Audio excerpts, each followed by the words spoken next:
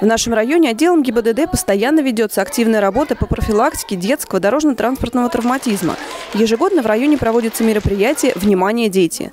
Для того, чтобы вырастить из малышей законопослушных водителей и дисциплинированных пешеходов, необходимо начинать с детского сада усвоения правил поведения на дороге. Именно поэтому в дошкольных учреждениях уделяется большое внимание профилактической работе в этом направлении.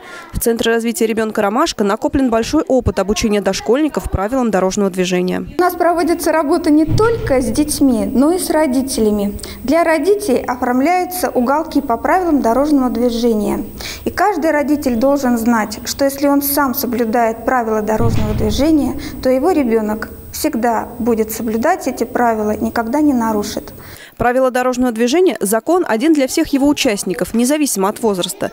Знать и соблюдать эту дорожную азбуку должны взрослые и малыши. Помогают ребятишкам в изучении правил поведения на улице воспитатели детских садов вместе с инспекторами ГИБДД. В игровой форме дети познают, как должны вести себя на дороге, соблюдая правила дорожного движения.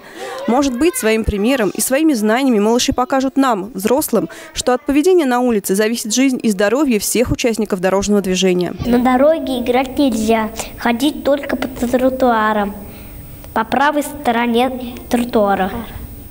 Когда желтый свет, надо подождать, а когда зеленый, можно уже идти. В отделе пропаганды ГИБДД УВД знают, что заложенные с юных лет элементарные правила поведения на дороге в будущем смогут уберечь детей от безрассудного поведения на улице.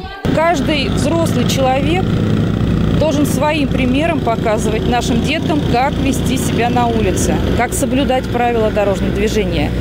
Взрослый человек не имеет права перейти улицу на запрещающий сигнал.